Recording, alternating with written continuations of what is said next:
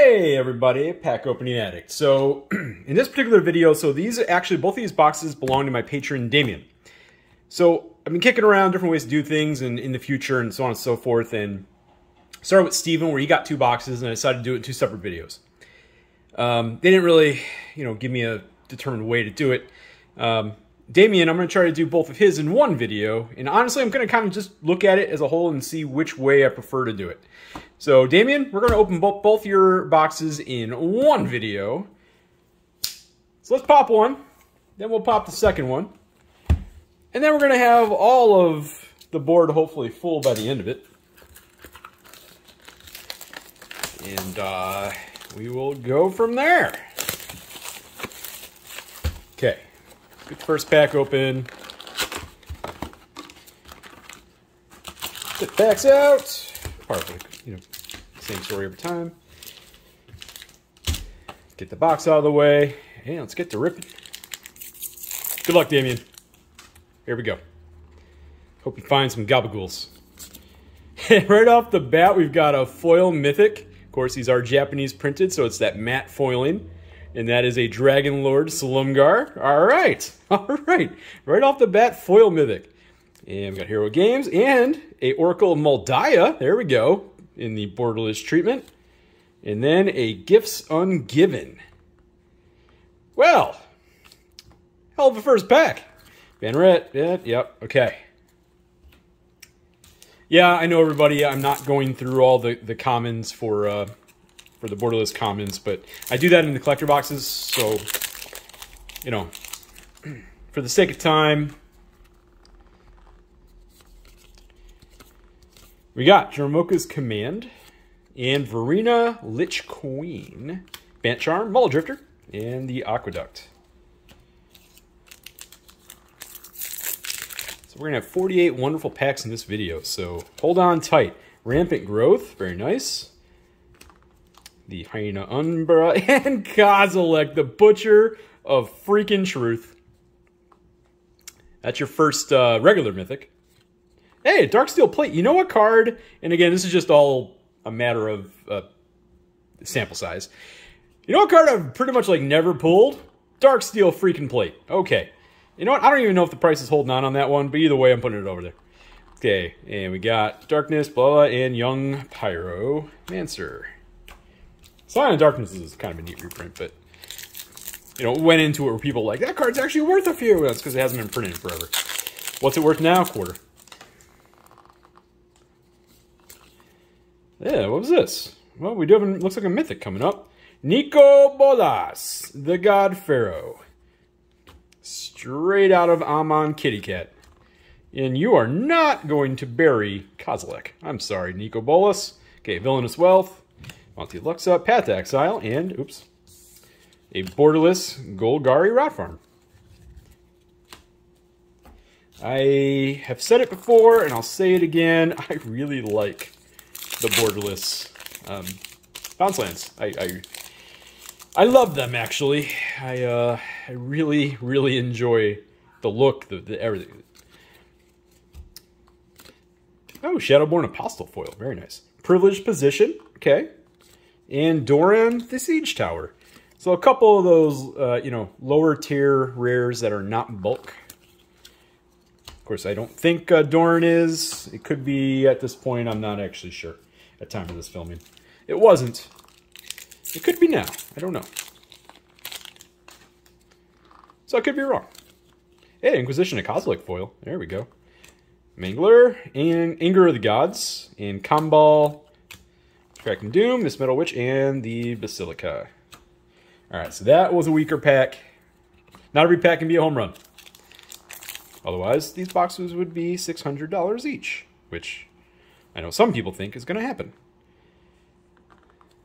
I don't know. I don't know. There, you know, there's, you know, there's another. They didn't release all the supplies, so there's another wave coming. Mikaeus the Lunarch, in Twinflame with a Dragon Arch. And hey, Eternal Witness, borderless. When the uncommons are way better than the, than the rares. Domestication. Bitterblossom. All right. I feel like Bitterblossom and Kozilek always come together. It's weird. And Legion's Initiative. Um, some people did ask about track printing. This set has 120 rares and 40 mythics. Um, as, I guess you can say print sheets go through, it it's too big for singular. It's it's too big for six boxes. So everything will get changed up over time and over over the course of the printing. And, and I I personally don't think the set's going to be all that trackable, and that's not a bad thing. Muldrotha, the Gravetide. Wow, we are just we are just cleaning out all the mythics here. You know what? I'm to move this big old stack over. There we go. That's better. Okay, so DC. Another Inquisition of Kozilek and Mentor of the Meek. That's what I'm finding a lot of, though. Um, obviously, a lot of people are like, you got to get the collector boxes, and the draft boxes are only for draft, and blah, blah, blah. I feel like they spaced the cards out well. And what I mean by that is there so far doesn't seem to be any boxes where you get like eight of all the top mythics. And then you get a box where you get like eight of all the worst mythics. I feel like the sheets were kind of balanced. And again, but based off my earlier comment, that's going to change because of the 40 mythics and blah, blah, blah. So we'll see. But as of right now, I, I feel like these draft boxes are like, they're the most consistent experience I've had since Modern Horizons 1. And what I mean by that, hey, Foil Grand Arbiter. Very nice. And Arjun and Thraximundar. Hey, Lightning Bolt. Very nice. What I mean by that is while while it can happen, and I don't want to say it can't happen, it's extremely rare to go to Pound Town in these draft boxes. When I mean Pound Town is I mean getting absolutely slaughtered, not just getting a box that's below value. It's also really hard to get a box that's absolutely insane in these draft boxes. So they're consistent. And there's something to be said for some consistency for when you're when you're cracking. Weather Wayfarer and yeah, sure you can go there. And the Chaos Warp with a Summer Bloom. That's cool. But yeah, there's something to be said for that. So when some random person is going to drop $300 on a box of cards, and by the way, I think that's what these feel good at. So we'll see what happens to the price points. But when somebody's going to drop that kind of money, force of negation. Ha ha! That's what we're. And Dack's duplication, duplicate, sorry. Boros Garrison. All right. But yeah, like I was saying, when you're, you know, you're going to actually go ahead and say, you know what, I'm going to spend $300 plus tax on a box of cardboard or $350 plus tax on a box of cardboard. Wow, Izzet Boilerworks and Monastery Swiftspear in the foil slots? Ooh, that's cool. Hey, Divining Top. Oh, sweet God. All right. And Judith, Cold Steel Heart, and another Izzet Boilerworks. It's kind of nice to know that your odds of uh, just getting absolutely, you know, destroyed, like, say, like a $20 box of Jumpstart, because it happens. I've got enough proof of that. Um, it's very few and far between that was always a nice part about opening MH1. Honestly, it's why I loved opening MH1 the most, besides the cards that are in there. But the boxes were just so... Even a box that wasn't great, you didn't feel like you just threw away $300. Mimeoplasm and Phyrexian Tyranny. But then again, that's also on the sample size Blood Artist of buying an entire box, not buying singular packs out of a box where then you've got great variance as you just saw with a pack that gave us Phyrexian Tyranny and a Mimeoplasm. Not, not, that they're, not that they're bad cards, but, you know, you know what I mean from a value perspective.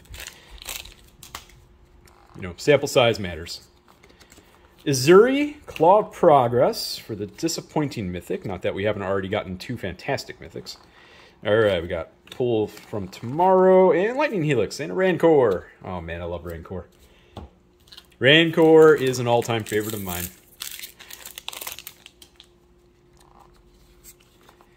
We got Spant Charm, the Leviathan, and the Shattergang Bros. Oh, that's that's awesome. Semi-growth chamber in the borderless artwork. Those borderless is, is that time of this video. They're holding on. They're holding on in the, a lot of them anyway. Not all of them. Borderless scarce and kind of dropped off. But it took longer than I thought. We got a foil Abbot of Keral Keep, which could become a joke on the channel, but since this isn't my box, I'll put it in the rares. Wait a minute. Oh, foils. Ha! Go for the throat. City of Brass and Venser. Biogenic Upgrade and Mulldrifter in your uncommons. So what do we got left here? So we got seven packs left. We should have at least one more Mythic, maybe two. Let's see if we can find another strong rare or two. Atla Palani and Wasitora. Firemind Vessel. Yep.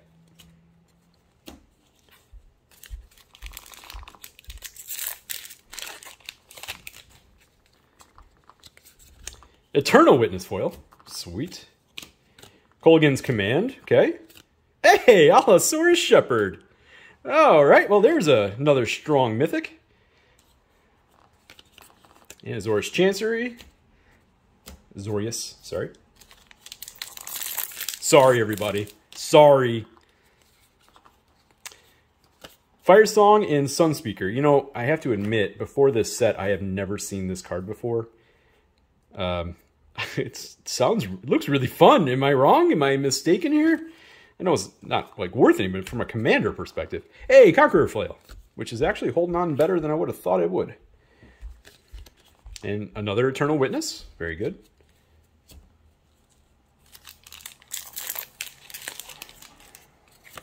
Oh. Good catch. Okay. Creakwood Liege. I think that's still the most valuable of all the lieges.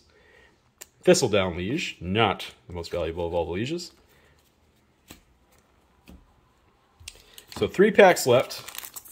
I wonder if we can get an eighth mythic and maybe one more high-end rare. Teferi's Protection. Yeah, that, that's your one more high-end rare, all right. And we got Mayael's Aria, Bloodbraid Elf. Two packs left. Okay, can we get one more Mythic? I feel like we can get one more. Well, we did. We did get one more Mythic. Ah. Okay, Damien, congratulations. That is a Mana Vault in that awesome borderless treatment. And seems to be one of the few cards that after the initial dip is actually climbing up again. And a Gravecrawler, because, you know, let's just get another solid rare after that. And a Rakdos Carnarium. Okay, look at that spread. Sheesh. Okay. Last pack of this box, then we're going to crack open box two. It's going to be a little longer video. Backdraft Hellkite, Oona's Prowler, because there can't be anything left in that particular box, because we already got all the fire. All right, so here's what I'm going to do, folks. Give me a second here. Um, God, that mythic mythic pile is going to get huge, isn't it? I'm just going to take these, put these, I don't know, over here or something. Okay, I'm just trying to make myself some space. Well, Damien, I think you your box one I could I can consider that box extremely strong. I don't know how you feel about it. I don't know how the general public feels about it. I know everybody will tell me in comments. Um, so please tell me in comments. But that box feels extremely good. Ezuri was your like worst mythic pull. That's But yes, they, they did include cards like like Ezuri in in Mythic. They did because not every mythic can be $30 or you would never be able to afford these boxes. Everything comes with balance. Okay, box number two, pack number one. Here we go. Chronicle of Heroes and a Kolaghan's Command Borderless. Just right off the bat.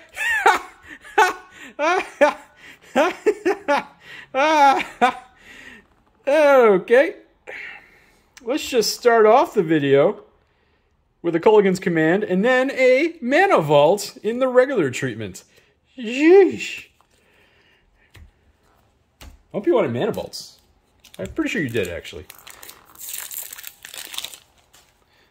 Alright, well, pack two. Imperial Archangel, and Master Bio, Bio, bah, Biomancer, words, Darkness, and Basilica. All right, good start to box number two.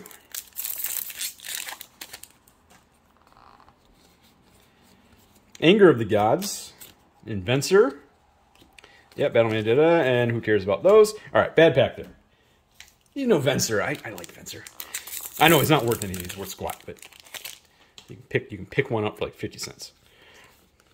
Figure of Destiny in Wasitora. Dragon Arch, hey, Cold Steel, and then Eternal Witness. That's a nice uncommon spread right there.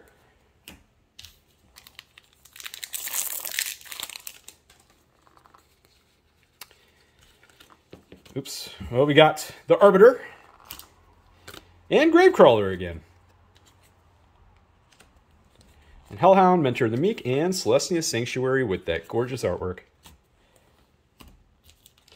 Okay, so this box isn't starting as spicy after that Mana Vault. But that's okay. That's okay. We got a lot of packs left to go. Pithing Needle. Ugh. And another Conqueror's Flail. Yeah, you can...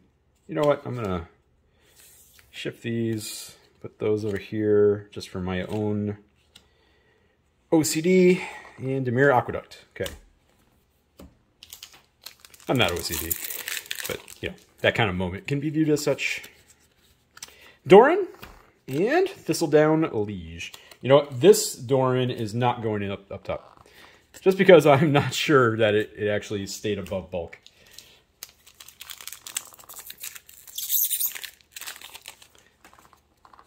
I honestly haven't looked.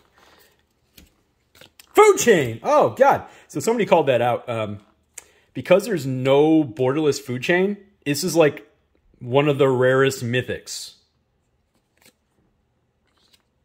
Just saying. Mariel, uh, I'm sorry, Miles, Arya again. Hey, Path to Exile. By the way, Path to Exiles are now at a very attainable price to buy them all up and fill your decks with all of your commander decks that have white. What are they down to? Like buck fifty each? Oh, Damien, Damien, what are you? What are you? What are you? What are you? What are you? Congratulations.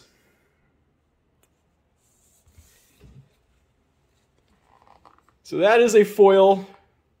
I know it's hard to tell in my current lighting situation. I get it.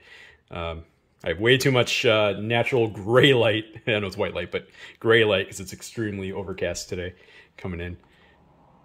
Uh, but that is a foil. It's Japanese too, so it's also the matte finish. But Mana Drain borderless. Oh my god. Okay. So let me get this straight. In this box, so far you got a Mana Vault, a Food Chain, and a borderless foil Mana Drain. Did I make a comment earlier about how like you can't kill it in a box? I'm, done. I'm freak. I'm, I'm, I'm done.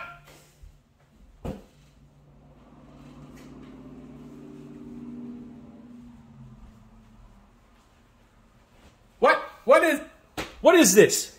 What is this? Who? Did you sell your soul?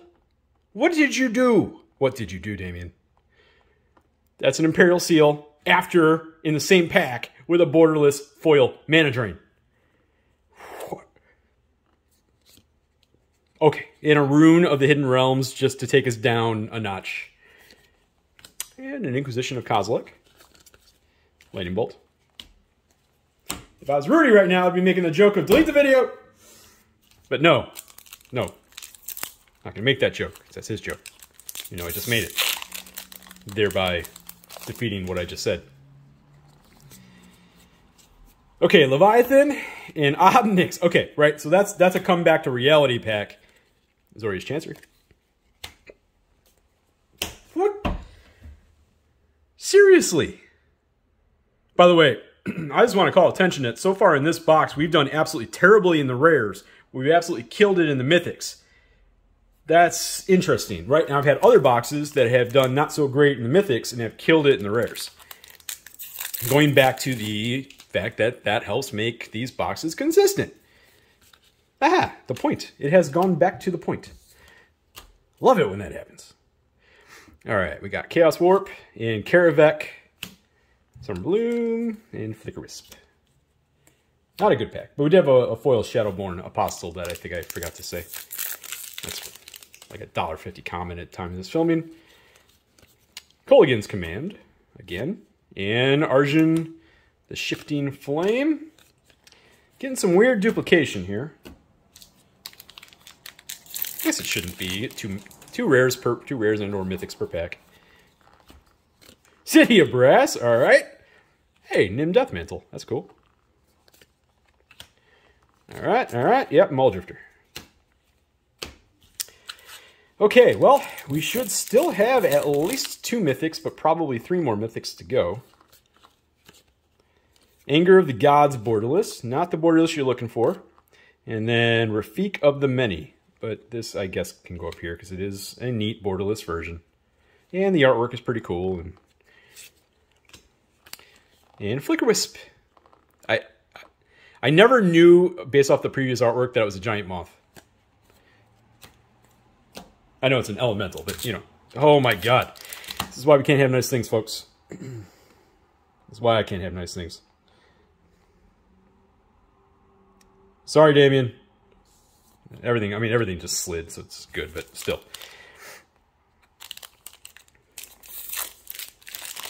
Okay, back on track. Young Pyro. Carrier Thrall. Okay, that is a uh, that is a mythic. That is uh, the Mist Stalker, because uh, you know not every mythic can be a fifty dollar plus mythic. And we got Pillar of the Paruns. Actually, I haven't checked that either to see how that's holding on. Hey, Blood Artist, very nice.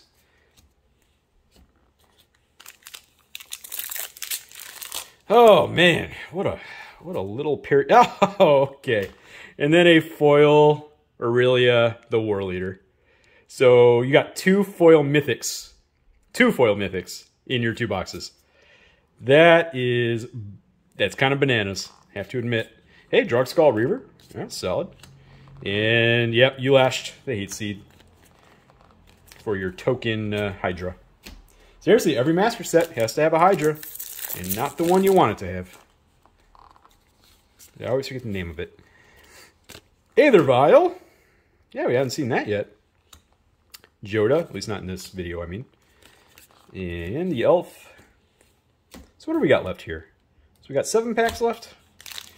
Seven packs left, and we've got so the foil mythic, regular mythic counts. Actually, that's two foil. We had two foil mythics, actually. So it means we've actually only pulled four regular mythics, which means we are on strong potential for two more mythics in these seven packs. Uh-huh. Okay, Dack's Duplicate and Greater Gargadon. Ouch! Oh, God. Rakdos Carnarium. Is that an uncommon? Yeah, it's an uncommon. Okay. I don't know what I ended up with that random card there. It must have been... Oh, that is wrong. I knocked stuff over. Never mind. Okay, here we go. Traveler's Amulet. Concordant Crossroads. Another Mythic. Another Mythic. Borderless.